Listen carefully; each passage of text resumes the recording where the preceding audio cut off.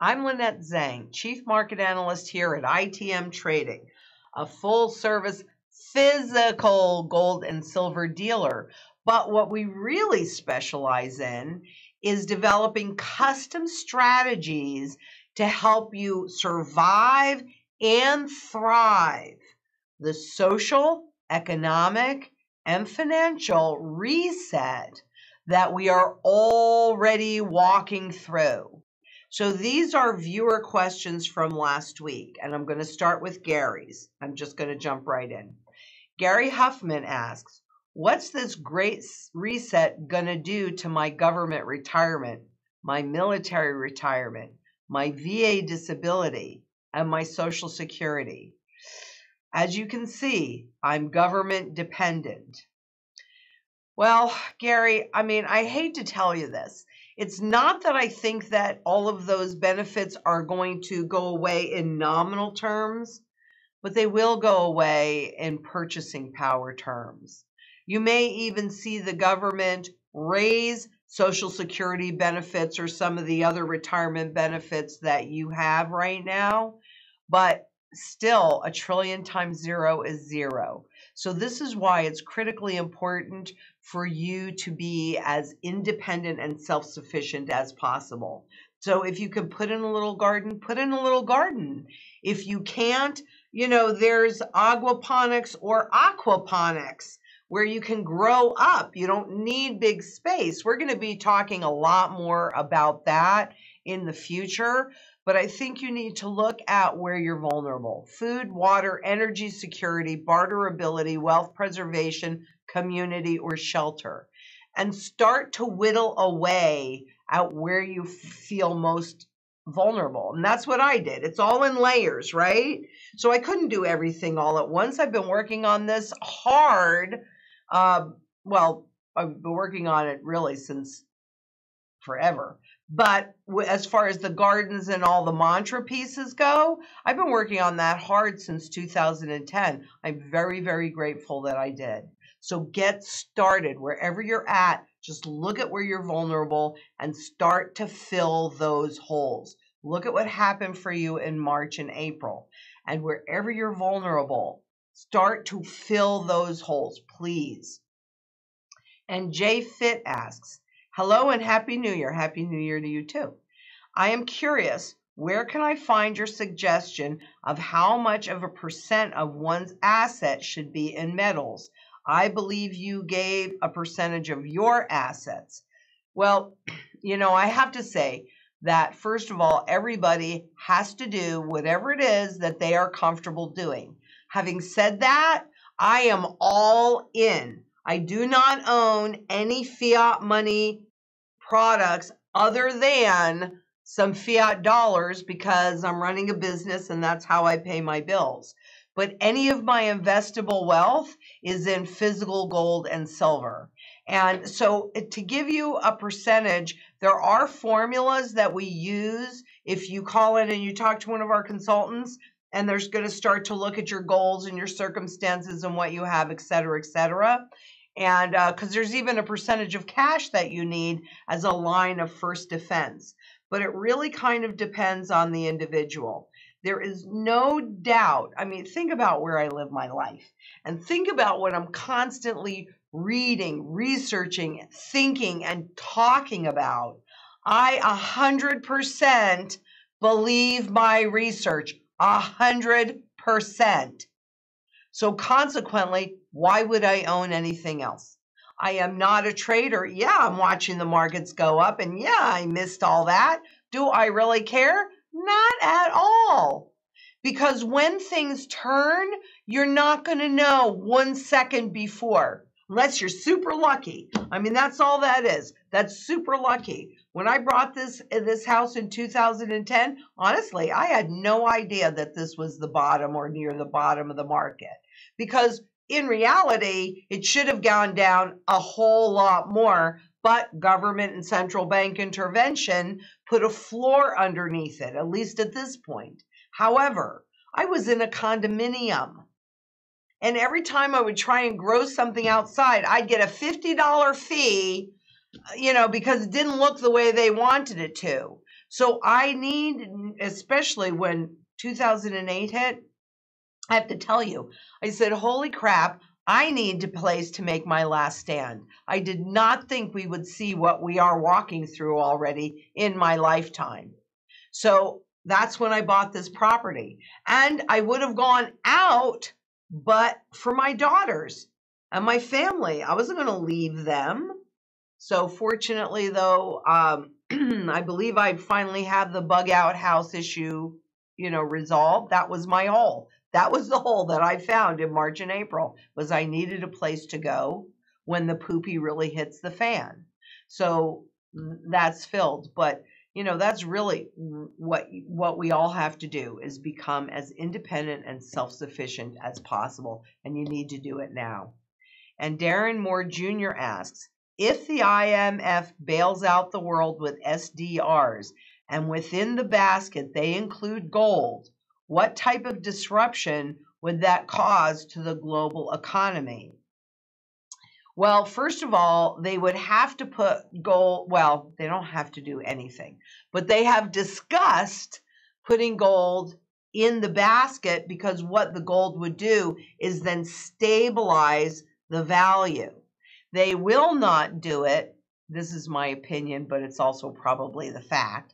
They have to burn off all of this debt that's been accumulated by governments, by central banks, all those balance sheets, by corporations, by individuals, so that we can start fresh. And that's why we have to go into hyperinflation or even hyperdeflation. It doesn't really matter. It's basically the same thing. So it, it's not what would happen once the gold is in the basket, it's the disruption leading up to that. And if they did indeed put a component of gold in that basket, it would be to become the world's reserve currency. And I do think that that is the most likely outcome because it's been around since 69. So this is really nothing new and it's been used and utilized. Whether or not you and I would have access to it is another question. Uh, because I think what we'll end up with is a world reserve currency as well as a local currency. So the digital dollar for us, and the Fed has talked about that, using it as uh, retail, which is what we would be considered, and wholesale, which is what the commercial banks would be considered. And then uh, this would be uh, the supply side to the central bank, to the to the Federal Reserve. And remember, all the members of the IMF are Treasury secretaries and central bank chiefs. So Fabrice asks, assumed gold is again going to be the world reserve currency. What would the role of silver be? Well, I, I don't really think that gold will be the world reserve currency. But what I can tell you, Fabrice, it's going to be part of the currency system because governments are going to have to get the people to trust their currency once again. And so, you know, that's going to happen. But gold's role is as the primary currency metal against which that reset is being done. And when you see me doing this, it's because they're taking that the in this country the dollars, but wherever you are in the world, the government money, the fiat money, and revaluing it against something that's all intangible, uh, that's all tangible, intrinsic value. This has this is you know has no intrinsic value. Silver is the secondary currency metal. So, you know, when we were on the bimetal system, that's what you had and chances are we would see and and through hyperinflation you do see silver perform that function again. But the challenge i guess with silver is that it does get used up in industry. And so with gold we can account for almost all the gold that's ever been mined minted what have you. But that's not really true for silver. So silver is a precious metal. It is a secondary primary metal. I own both. But for me, silver is more about barter and gold is more about wealth preservation and wealth accumulation. And Obed Perez asks, when do you think UBI is coming? That is a great question. We're watching that. uh, whole movement mount with, I think I talked about this last week, with the 30 mayor campaign right now. So cities are experimenting with it. But the interesting thing about that is that where are they going to get this money from? Because cities can't just print money out of thin air. So really the UBI has to come from the Federal Reserve because they're really the only ones that can just print money out of thin air. When do I think it's coming? Well, I was I really thought they might have done it last year because it got to such a crisis level, but that's not really true. Uh, obviously, it didn't happen, but the movement certainly picked up a lot of steam. So I'll put my neck on the line, and I'm going to say, you know, and it might also have something to do, if we just kind of think about this, it might also have something to do with when the digital dollar is ready. Because then the central bank can just put it in your those Fed Now accounts and boom, you're using it. Um, I would say between, well, certainly before 2022. So maybe this year, maybe next year, or 2023, but soon, very soon, very soon. Okie dokie. So I hope you, if I didn't answer your questions, by the way, would you please let us know so that I can go in and answer them in a different way? But I know that uh, YouTube did an update. And so if you want to just make sure that you're going to get those notifications live, even though you might have switched on the bell notification before, please go in hit that bell again to make sure that you actually get these notifications.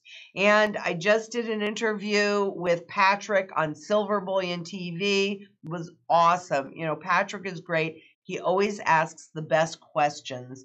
And if you hadn't seen the George Gammon interview yet, I highly recommend that you go and look at that interview as well. But I'm super, super excited to let you know that next week, Friday, February 4th, I will be a keynote speaker on the, or I'm going to do uh, a lot of questions, I think, an interview on the Gold Symposium held out of Australia. And I'm very, very excited because this is the first time that I'm doing it. And I, you know, hopefully we can spread the message far and wide. But you have any questions about this or anything else, just go ahead and send it into questions at itmtrading.com. And don't forget to visit our blog. That's where I do my blog post every week, as well as all of the links, all of the images. If you'd like to have a conversation with one of our consultants, just click that Calendly link below and set a time that works for you. If the time you want isn't is not available, just call us at 888-696-4653 and set up a time that works for you. You'll also be able to find us on both Facebook and Twitter. And, you know, if you like this, please give us a thumbs up. Make sure that you share this information. It is more critical now than it ever has been. Because without any doubt in my mind whatsoever, it is absolutely time to cover your assets. And here at ITM Trading, we do this with the Wealth Shield which is a strategy that I started developing in 1987 when I started to study currencies. And we just keep making it better and better and better because you need to have a plan. But definitely keep in mind shields are made of metal, the ones that can protect you. And until next we speak, please be safe out there. Bye bye.